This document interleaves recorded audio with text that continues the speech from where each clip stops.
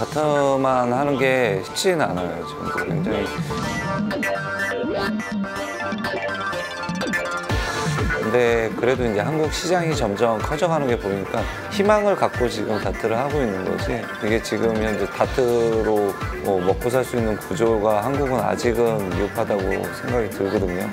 그만큼 먹고 살려면 성적이 나와야 되고 한국에서는 아직은 버티고 있는 실정이죠.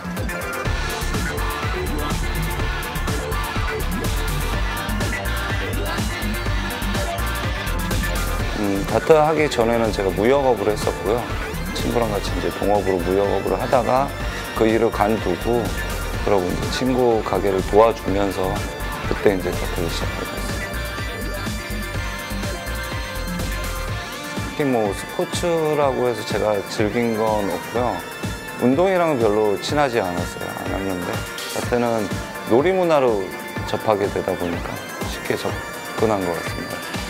지금은 다트만 하니까. 어, 삶 지금은 그냥 삶.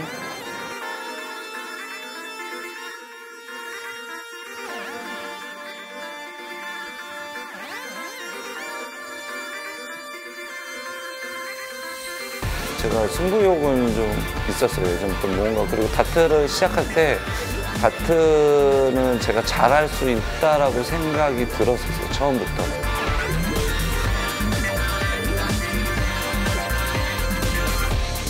어, 이렇게 슈퍼다트 가- 음, 굉장히 큰 대회에 참가하게 됐는데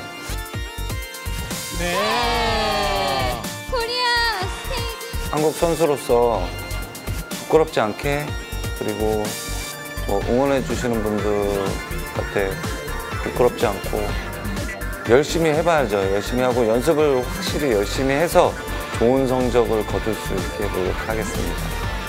말하면서도 좀 떨려요.